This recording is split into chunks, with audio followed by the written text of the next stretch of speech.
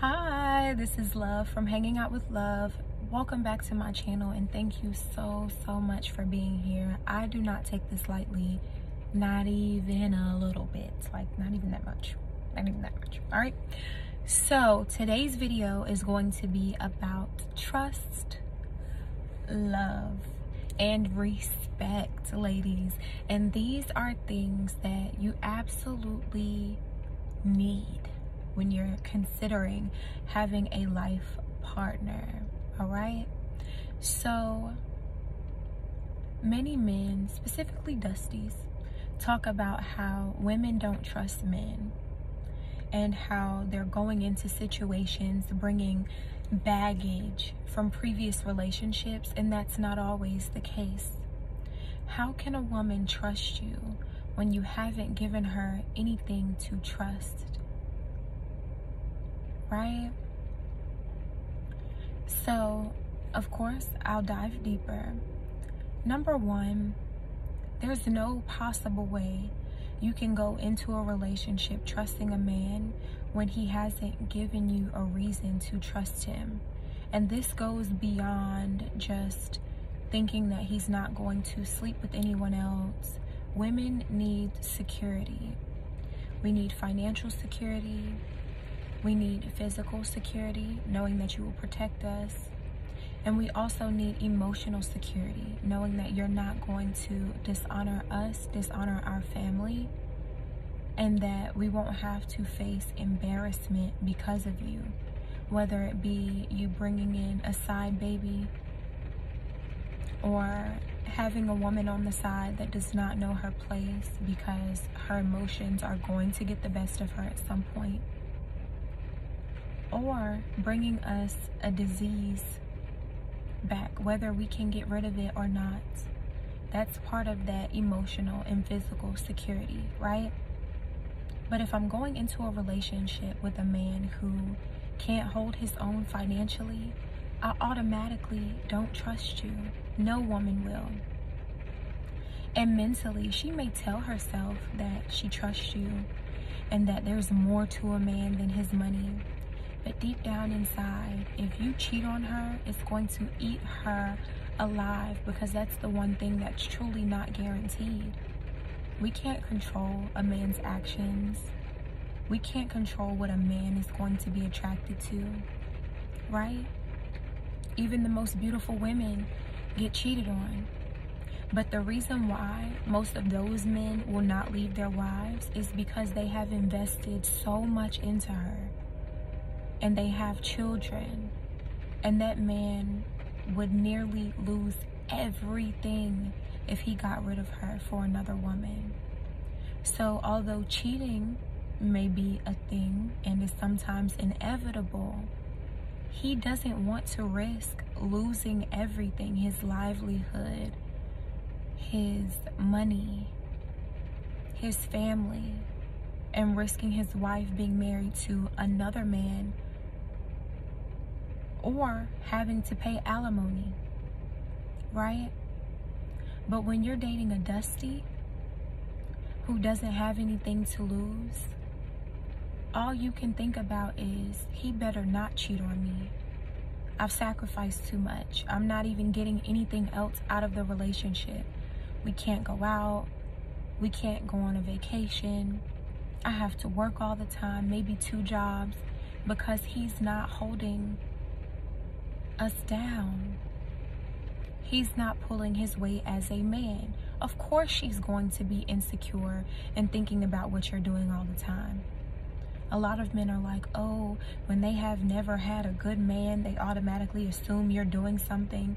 No, she thinks you're doing something because you're a good man with too much time on his hands. What are you doing while she's at work? Right? And then when you're off work and you're out having fun, she's still wondering what you're doing because she wants you to be using that free time to get more money so that you can provide. There are a lot of women who held out on a family because they were either married to a dusty or dating a dusty. And although they wanted children, they did not feel comfortable bringing a baby into that situation. And I have been there. Okay? Dating a man, he's talking about marriage and wanting to have a family. Sir, you are not where you need to be. And what woman wants to have that thought that as young and vital and fertile as I am right now, I can't have a baby with the person that I'm with. And this is why the level up is so important. No way she's going to trust you and you don't have your money together. No way she's going to trust you and your priorities are all screwed up. No way she's going to trust you and you have a gambling problem or a drinking problem or you're on some type of drug, right? How can I trust you when you have these vices, even if your vice is women? Women cost money, right? There are some women who are married to men that pay for hookers. If he's willing to pay for another woman, do you really want to marry him? No, babe, you don't. Unless he has a ton of money, you won't be sleeping with him, and you can take him for everything that he has once you have all of the evidence. But who wants to have to go through that? To have children with a man who's emotionally unstable and can't keep his penis in his pants? Think about it. So while you're trying to be all kumbaya with Craig or with white boy Jason who has these big dreams and the money from his trust fund is about to run out and you're thinking about investing into this man and holding him down, think twice because you cannot get this time back. And you will never trust him. He can't start off on a level playing field. He can't. See, when we meet a man, if we're attracted to him because of his personality and his charm, he already starts about right here, right? He doesn't start all the way from the bottom. He starts about right here, middle ground, where I can accept you because you've opened your mouth and I'm not disgusted yet right? Before they open their mouth, they're here. They have to start at ground zero. He opens his mouth. You like what you hear. You like his conversation. You know he has money. Boom. From here, this is where he starts to prove himself. Not at the initial conversation, not when he's telling you everything you want to hear right now so he can get your number or attempt to get in your panties tonight, right? So he starts going up from there. But when you already know a man doesn't have anything but that charm in that conversation, he stays here. And then throughout the relationship, as he pisses you off, as he comes in late, as he makes excuses, as he gets upset when you recommend a job to him, it just keeps going downhill from there, babe. Because you can't respect him.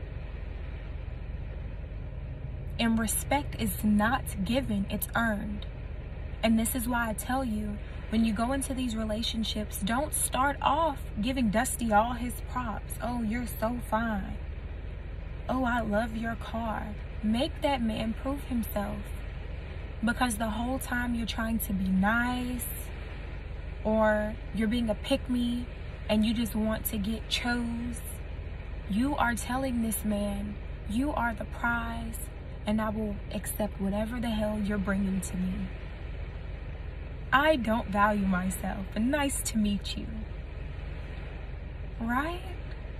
Get it together, babe. No way you can trust and truly be in love with a man who's not taking care of you and giving you his absolute best. In no way are we starting with nothing and building a man up. Absolutely not. Most women already bring a lot as it is because you're taking care of yourself. So you need a man that can take care of you as well and treat you even better. I love you.